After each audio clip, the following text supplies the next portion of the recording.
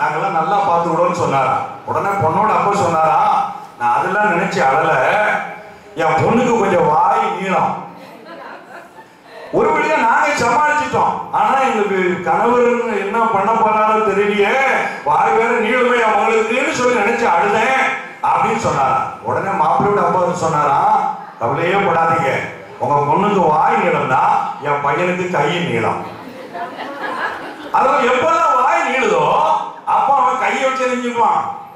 கையை சமாளிச்சுக்கிடுவான். ஒரு அலுவலக சொல்லுங்க. ஆமைன்னு சொல்லுங்களேன். அப்போ கை நீளமா இருக்கணும்னா எது நீளமா இருக்கணும் நமக்கு? ஆ, நான் அடிச்சு விட்டாரு அடிச்சு விட்டாரு. பெரிய இஷ்யூ ஆக்கிடுவாங்க. எதுக்கு அடிச்சாரு? அதான் வள்ளுவர் சொன்னாரு தீயினால் சுட்ட பொன் உள்ளாரும் ஆறாதே நாவினால் சுட்ட நீ வார்த்தையினால கேட்கிற கேள்விக்கு அதுக்கு உயிரே விட்ட யோசித்து பாருங்க. அல்லையோ சொல்லுங்க. அப்ப இந்த மாதிரி தான் சில காரியங்கள் நம்முடைய வாழ்விலே நாமே நமக்கு என்ன செய்யறோம் தடையா இருக்கிறோம். ஆமென் சொல்லுங்களேன். ஆனா இதெல்லாம் நம்ம வந்து பெருசா பாக்குறது நம்ம என்ன நினைப்போம்னா விபச்சாரம் பண்ணா பெரிய தப்பு குடிச்சா பெரிய தப்பு. அல்லது யாருக்காவது அடிச்சு தகராறு பண்ணா பெரிய தப்பு கர்த்தர் எதை பெருசா பாக்குறது தெரியுமா? அதாவது மார்க்கு ஏழாம் அதிகாரத்துல சொல்லி இருக்கிறார் பாருங்களேன். பதினெட்டு பத்தொன்பது இருபதா வாசிங்க மார்க் எழுதின சுவிசேஷம் ஏழாவது அதிகாரத்தை எடுத்துக்கொள்ளுங்க. அங்கே கர்த்தர் சொல்கிறார் பாருங்களேன். நீங்களும் இவ்வளவு உணர்வில்லாதவர்களா? நீங்களும் இவ்வளவு உணர்வில்லாதவர்களா?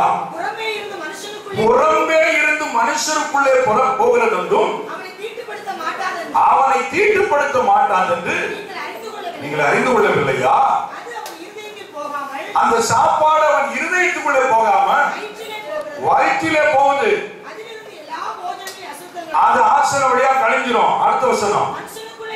மனுஷனுக்கு உள்ளே இருந்து புறப்படுகிறது. மனுஷனை தீட்டுப்படுத்த மனுஷனை தீட்டுப்படுத்தும். ஆசீர்வாதத்தை தடை பண்ணும். அடுத்து. எப்படி எனில், மனுஷனுடைய மனுஷனுடைய இருதயத்துக்குள்ள இருந்து பொல்லாத சிந்தனை. ஆ என்ன சிந்தனை? அப்போ நம்ம மைண்டு ரொம்ப கவனமா இருக்கணும். ஒரு அல்லையோ சொல்லுங்களேன். ஒரு காரியத்தை நம்ம ரொம்ப சின்சியரா யோசிக்கும் போது இந்த யோசனை கர்த்தருடைய பார்வையிலே சரியா? சிலருக்குலாம் கிரிமினல் மைண்டா இருக்கும். என்ன மைண்டு கிரிமினல் மைண்டு செய்யறதே கிரிமினலா செய்வாங்க. யோசிக்கிறதே கிரிமினலா யோசிப்பாங்க. அதைத்தான் கர்த்தர் சொல்றார் பொல்லாத சிந்தனை. கிரிமினல் மைண்ட்ல யோசிக்காத. நார்மல் மைண்ட்ல யோசி. ஆமென் சொல்லுங்களேன். பொல்லாத சிந்தனைகளும் ஆ ரெண்டாவது உபச்சாரங்களும் வேசித்தனங்களும் கொலைபாதகங்களும் களவுகளும் பொருளாசைகளும் துஷ்டத்தனங்களும் கபடு காம விகாரம் வன்கண் தூஷணம் பெருமை மதிகேடு புறப்பட்டு வரும். பொல்லாதவர்கள் இவர்களெல்லாம் உள்ளத்திலிருந்து புறப்பட்டு நம்மளை தான் தீட்டுப்படுத்தி நம்ம ஆசீர்வாதத்தை தடுத்தோம். அப்போ மூணாவதாக நம்ம ஆசீர்வாதத்துக்கு தடை யாரு? சொல்லுங்க. நான் தான் சொல்லுங்க. யாரு காரணம்? நான் தாங்க. அதுக்காக இப்ப நான் ரொம்ப பூரண யோகியன் ஆயிட்டேன். யார்கிட்ட குறையே கிடையாது அப்படின்னு நான் சொல்ல வரல. ஆனா நம்ம பூரணத்தை நோக்கி போயிட்டு இருக்கணும். நம்ம இப்பவும் சில வேளை தப்பு பண்றோம். தெரியாத பேசியிருந்தோம். சரியா செய்யக்கூடாத செய்யிருந்தோம். அதனாலதான் சர்ச்சில் போய் ஆராதனையில பாவ அறிக்கை செய்யறோம். அண்டவரே செய்யத்தக்கவளை செய்யாமல் சொல்லுங்க செய்யத்தகாதவர்களை செய்து வந்தோம். ஆனால் எங்களுக்கு சுகமே இல்லை ஆண்டவரே. அது சொல்லிட்டு அடுத்த முறை யோசிக்கும் போது இது செய்யத்தக்கதுதானா நம்ம யோசித்து செயல்படணும். ஆமென் சொல்லுங்களேன். அப்ப மூத்த குமாரனுக்கு பிரச்சனை என்னன்னா அவன் உள்ளத்துல தான் பிரச்சனை அவன் குணத்துல தான் பிரச்சனை.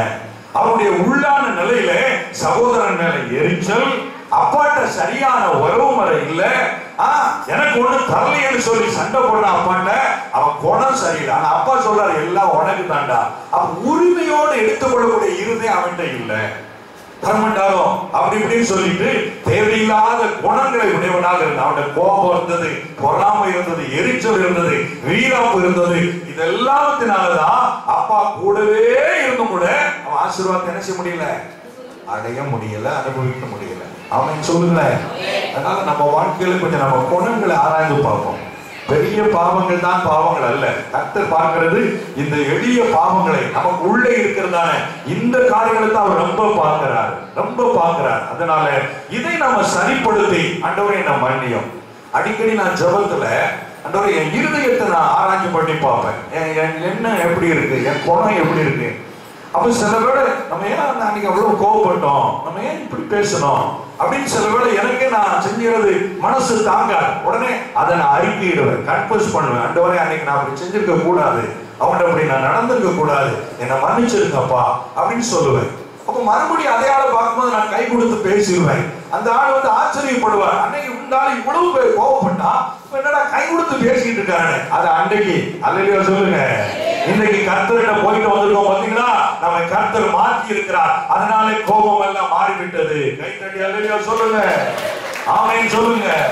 அதனால நம்ம தேவ பிள்ளைகள் ஒரு கோபத்துல ஏதோ ஒரு ஆத்திரத்தை ஒரு நாள் பேசிட்டோம் அல்லது சண்டையே போட்டுட்டாலும் அதையே மனசுல வச்சு பகையை வளர்க்க கூடாது அடுத்து கர்த்தர்கிட்ட போய் அதை அறிக்கையிட்டுட்டு மறுபடியும் ஒவ்வொரு வாங்கிடணும் அதுதான் சமாதானம். எத்தனை பேர் ஆமையும் சொல்றீங்க? தப்பு பண்ணாத ஆட்கள் யாரும் கிடையாது. எல்லாருமே மனிதர்கள் தான். ஆனா அந்த தவறை உணர்ந்து மறுபடி மன்னித்து மறந்து ஐக்கியத்துக்குள்ள வர பாருங்க அவன் தான் தேவ மனிதன். அவன் தான் தேவனுடைய பிள்ளை. அவன் அதுதான் நமக்குள்ளே சமாதானத்தை கொண்டு வரும். அதான் சில பேர் என்னதான் பேசினாலும் அது கொஞ்ச நேரத்துல எல்லாம் மறந்துடுவா அந்த அக்கா அந்த அம்மா அப்படின்னு சொல்லுவாங்க சிலர். அப்படிதான் ஒரு நல்ல மகிமையான ஒரு தேவ ஊழியக்காரனுடைய குடும்பத்துல அந்த மனைவி குறித்து சொல்லுவாங்க. அந்த அக்கா என்ன கோவப்படுது அப்படின்னு சொல்லுவாங்க. ஆனா அதே ஆள் உடனே சொல்லுவாங்க அன்னைக்கு இன்னைக்கு அந்த பையனை அவ்வளவு திட்டிச்சு பாருங்க. நாளை காலை அவனை வீட்டுல கூட்டு போச்சு. அவனுக்கு முட்டை தோசை சுட்டு கொடுத்து தம்பி அக்கா சொன்னது கோவப்படாத என்ன?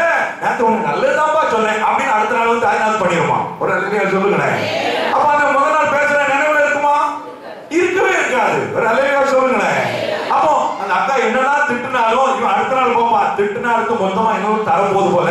திட்டுனா திட்டிட்டு போகுது. அப்படின்னு நினைச்சு அவன் நினைச்சுக்கிடுவான். அதனால அக்கா திட்டினாங்க திட்டுனாங்க ஒண்ணும் பரவாயில்ல அல்லையா சொல்லுங்க. திடீர்னு ட்ரெஸ் எடுத்து கொடுத்துரும். திடீர்னு ஏதாவது பெரிய காணிக்க கொடுத்துரும். அப்ப பாருங்க அக்கா பேசத்தான் செய்யும். ஆனா மனசுல நல்ல ஈரம் இருக்கு அக்காவுக்கு. அல்லையா சொல்லுங்க. இதுதாங்க தேவை பிள்ளைக்கு தேவை. அது மூத்துக்குமார்கிட்ட இல்லை. அப்ப நம்ம வாழ்க்கையில ஆவிக்குரியவர்கள் என்று சொல்லும் போது இந்த மாதிரி காரியத்துல நம்ம சரி பண்ணிட்டோம்னா கர்த்தர் நம்மை ஆசீர்வாத தடையெல்லாம் மாற்றி ஆசீர்வாதத்தினால் நிரப்புவார். ஆமென். கடைசியாக ஒரு தடையை சொல்லி நம்ம ஜெபிக்க போறோம். அப்போ சில நடவடிக்கைகளின் புஸ்தகத்துல பதினாறாவது அதிகாரம்